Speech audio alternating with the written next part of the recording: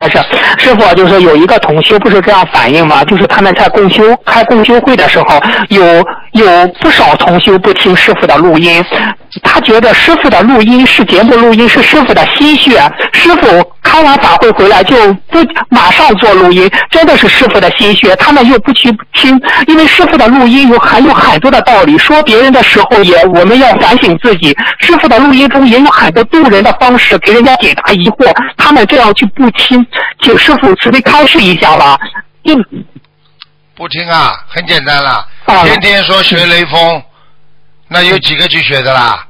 好的东西丢掉太正常了。现在社会让大家都赚眼钱，坏的东西都钻在心上，好的东西啊，仁义礼智信，国家推崇的传统文化、仁义道德啊，呃那些为什么不学啦？为什么啦？好的东西不肯用，坏的东西大家都抢着，这就是风气。所以现在风气不好，才要我们要加强好的思维管理呀、就这个道理呀、明白了吗？是啊是啊是啊。啊，一个人并不是说好的东西大家都做的，好的东西做好人多难呐、现在要做点好人，谁肯做啊？哎呦，你做好人了，马上被人家讽刺了。你刚刚帮一个人，哎呦，你不得了嘞！哎呦，你是好的不得了嘞，还听不懂啊？对对对对，啊，是的，是的，就是大家不听录音吧，嗯，同学们也很担很担心。你听上录音和台师傅接上气场就好了，就是不听。哎，我就告诉你们一个事情，师傅每天晚上嗯我会把我博客上的那些人家的反馈，或者人家留一个言，师傅每天看的。